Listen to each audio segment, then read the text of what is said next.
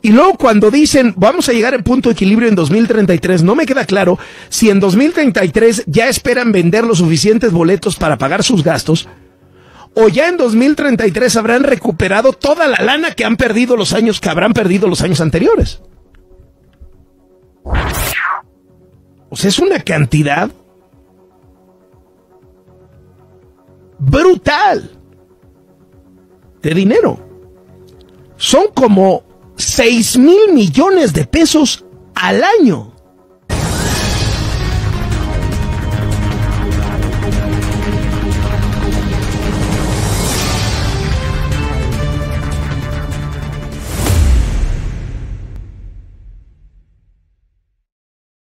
Ha sido un tiradero de dinero el AIFA.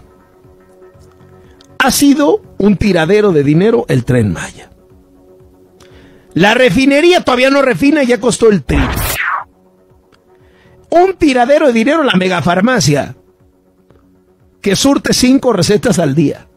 Bueno, ¿y qué me dice de Mexicana de Aviación? Anoche en Latinus le presentamos información, tuvo acceso nuestro reportero a los estados financieros de Mexicana de Aviación. En las primeras dos semanas de operaciones, Mexicana de Aviación vendió boletos por el equivalente a un millón seiscientos mil pesos. Un millón seiscientos mil pesos en venta de boletos en dos semanas. ¿Sabe cuánto gastó en esas mismas dos semanas? 229 millones de pesos. O sea, tuvieron una pérdida de 227 millones de pesos en dos semanas. Esto va a ser brutal. O sea, la recuperación fue del 0.7%, o sea, perdieron el 99.3%. Sus únicos ingresos fueron por la venta de boletos, no bastan. La propia aerolínea había originalmente estimado que iba a llegar a punto de equilibrio en 2029, parece que va a ser hasta 2033 y ojo, estamos hablando solamente de los gastos de operación. Porque lo que no está claro es cuánto han perdido en la inversión de Charlandar. Pintar los aviones, comprar el equipo, etcétera, etcétera. Imagínense lo que estamos hablando. Y luego cuando dicen vamos a llegar al punto de equilibrio en 2033, no me queda claro si en 2033 ya esperan vender los suficientes boletos para pagar sus gastos o ya en 2033 habrán recuperado toda la lana que han perdido los años que habrán perdido los años anteriores. O sea, es una cantidad brutal de dinero. Son como 6 mil millones de pesos al año. Nada más de operación, o sea, sin contar los aviones, la pintura de los aviones, o sea, nada más operarla, ¿no? Que si la turbocina, los lugares en, en los aeropuertos. Para que se suba una persona, cuatro, catorce. Es un fracaso brutal, brutal. Y ya ni le digo, ya ni le digo del presidente que dijo que iba a hacer de Pemex un puntal del desarrollo de México. Tiene a Pemex quebrado. Mi pregunta es, si está igual de quebrado que como lo dejó Peña Nieto, que lo dejaron muy quebrado, con una deuda de 100 mil millones de dólares, o ya está peor de quebrado o igual de quebrado.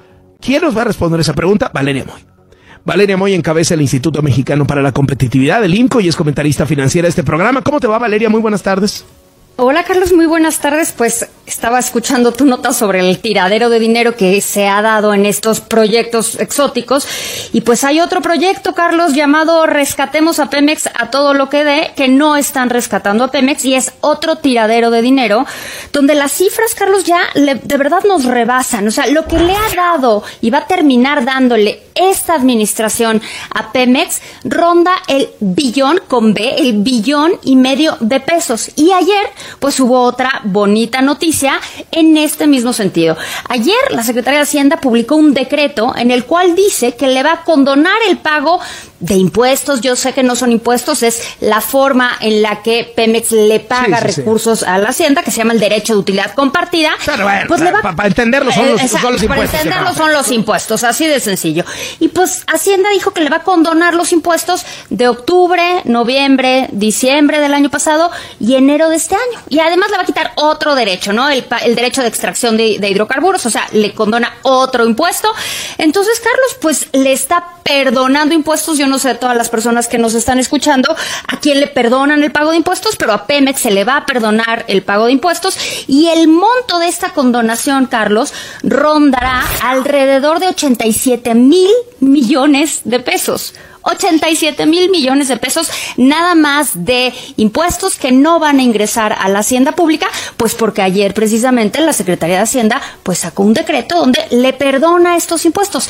Esta no es la primera vez que sucede, Carlos. Ya llevamos de condonaciones fiscales 155 mil millones de pesos que le ha condonado la Secretaría de Hacienda también a Pemex entre 2019 y 2022. O sea, le están dando recursos y recursos y recursos a Pemex que pues simplemente Pemex pues nomás no sabe ni cómo utilizar porque la empresa no solo está quebrada, está mucho más quebrada que en las administraciones anteriores y además, Carlos, pues no se ve la luz al final del túnel. O sea, no se ve ningún plan para reestructurarla o para rearmarla o para hacer algo con ese barril sin fondo que se ha vuelto Pemex. Los resultados financieros financieros del año pasado los tendremos a fin de mes, pero se estima, Carlos, que pues vendrán resultados muy malos para la enorme petrolera que está resultando pues un tiradero de dinero.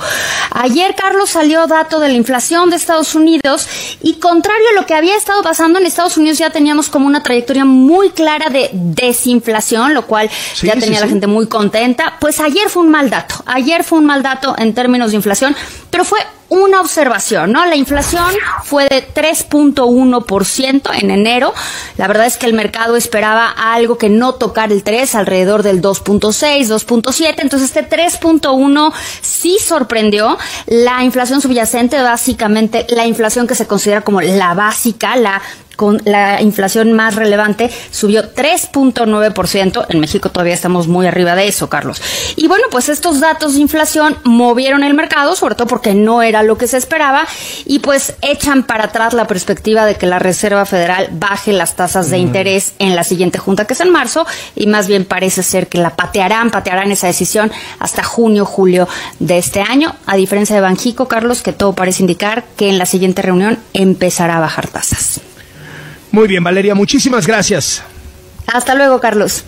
Hasta luego. Valeria Moy encabeza el IMCO y es comentarista financiera de este programa.